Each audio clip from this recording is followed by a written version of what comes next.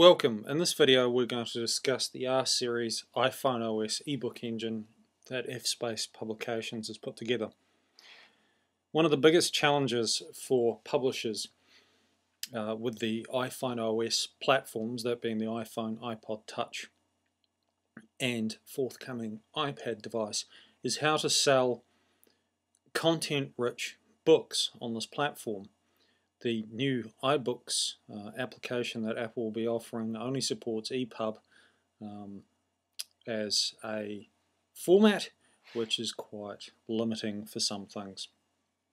At the moment, books constitute one of the biggest categories in the iTunes App Store, and to deliver books there, you must make an application that wraps up your ebook, depending on how you're going to present it. One of our challenges was to look at how to take a graphic rich publication uh, for its internal structure such as this PDF which has a lot of colored graphs, um, images and graphic design styles and translate this into a similar experience on the iPhone and to be able to deliver this very quickly because we have a very large catalog of publications like this and we wanted to be able to deliver this to the iPhone where we believed a lot of users may be interested in having the pocket reference. So what we've done is managed to translate that experience into something that looks identical. Fortunately the iPhone is capable of rendering content in a number of different formats, it's just that by default you can't save it. So what we have here, or in the R series, is in fact a reproduction of the print-based publication where you can zoom in to any particular content.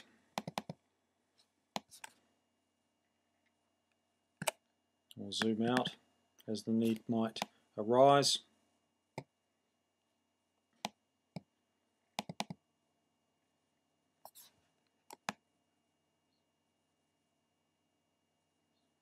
If you wanted a quick reference on tables, you could easily do this. So with multi-touch, it is quite easy to navigate around reference documents, whether this be data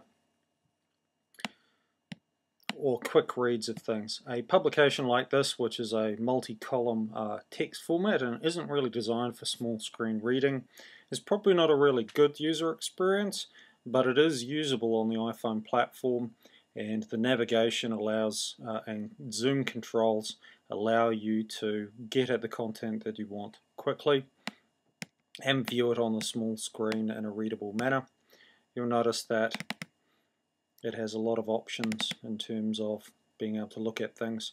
You'll notice the quality of this image isn't so great. There is a memory limit uh, with the iPhone being both a physical device and I, Apple limit the size of applications in terms of their data uh, for download because of concerns about congesting cellular networks for data.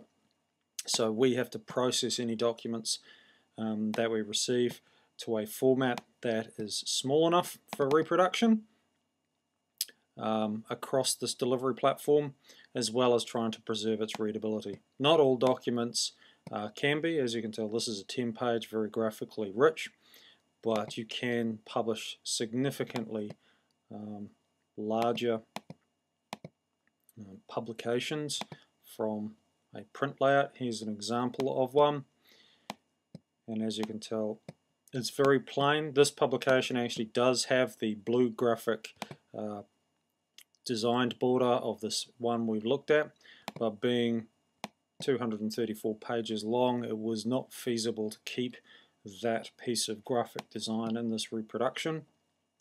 Um, simply because um, it made it too um, big and we've obviously had to make sure that all the graphics are downsampled. Fortunately we can do that by a number of mechanisms, either with the original source document or um, with the likes of a PDF, we can actually control these within some limitations. As you can tell, the text here is readable and the zoom controls allow for a zooming to the content boxes that you are looking at uh, at the time. As you can tell, it neatly scales these and works with it quite well. And there's no extra work for us to do a lot of um, these um, snazzy things that you're seeing happening here. You can obviously rotate it to landscape and treat it um, the way that you might want to. So it's a fairly easy, it's our quickest method of getting a publication onto the iPhone. Um, if you want a more readable uh, experience with this quick conversion, it pays to do a single column text format. And if you can design it in such a way that the page neatly fits the sides and things, and with that zoom function you can get a very readable linear reading experience obviously because this is a double-sided publication um, it has text sitting marginally different from page to page so it doesn't get as good a linear experience as you'll notice here is potentially possible. So uh, just a quick tap and it'll line that back up. Quick tap and then goes back out and in in this case. So it's quite easy to correct that but we do recommend that people uh, who want publications put here very quickly do design them in a way that takes the advantage of the user platform. But if you've got 30 odd publications or brochures, annual reports, whatever they happen to be, it is quite easy to get these on quite quickly. Um, and we will do most of the work taking your documents, refining them for the file size, reproduction quality, and then applying the things that needed to be done to get it on, which with uh, the iTunes things are like the icon that it has as a application sitting on a desktop and some of the other things that Apple require which is a larger icon, preview shots of the application uh, there. And there's some other information about rating. Um, obviously there's they have concerns about violence uh, drug use, gambling, and things like that. So that it gets a age rating for your document and things like that, and obviously the description that might apply to it. Um, so this is a quick and easy way to publish an existing publication.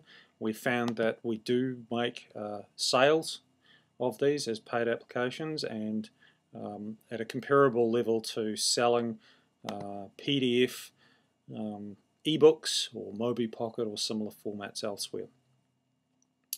Um, at least this is a quick and easy method to get onto the iPhone and be able to allow users to use iTunes to buy your book directly um, from either yourself or a publisher operating on your behalf. As you can tell there are a lot, pretty much all these that you see here um, are ours um, and we've got both books and utilities here. So the R series is an effective way to get any kind of publication um, that meets its general criteria across and is a cost-effective means for free document distribution. If